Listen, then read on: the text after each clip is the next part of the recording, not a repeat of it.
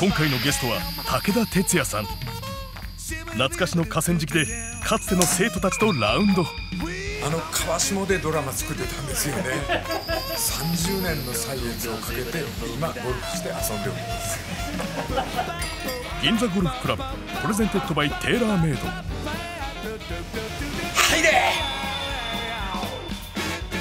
メッセージ質問を募集中詳しくはウェブで。